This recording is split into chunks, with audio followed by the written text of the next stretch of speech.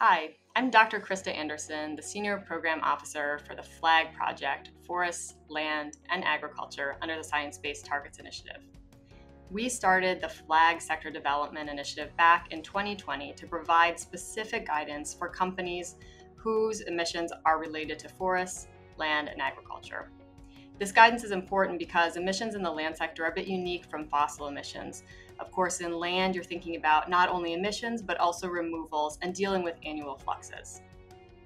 Now, on January 18th, we're excited that we'll be launching the public consultation for this new guidance.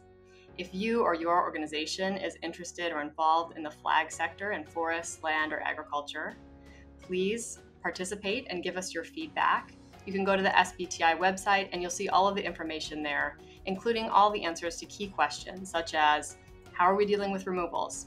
The answer is they're included. Or what did we do about forestry? We developed a specific pathway for timber and wood fiber. All this and much more. We look forward to your feedback.